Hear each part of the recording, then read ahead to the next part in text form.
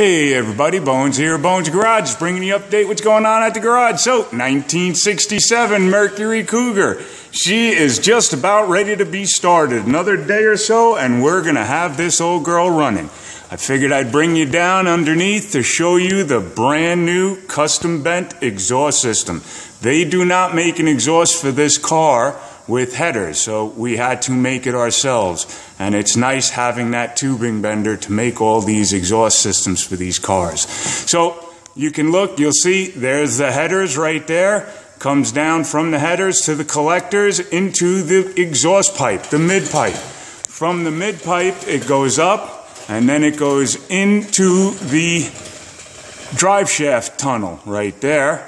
And then it tucks nicely up and in nice out of the way of everything. Then from there comes and goes out to both of the mufflers and we used a set of Flowmaster Delta 50 mufflers to give it a nice sound.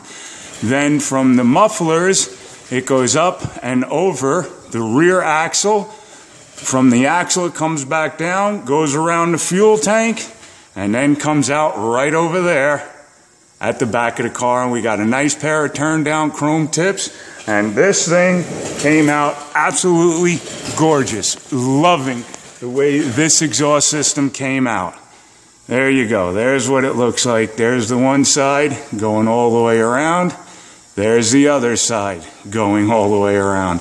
And it looks beautiful. Plenty of room everywhere. Nothing will be hitting anything else.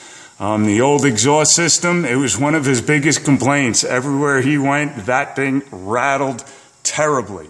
You can see how nice and level and straight the uh, mufflers are, how nice all of the tubing is bent and tucked in beautifully.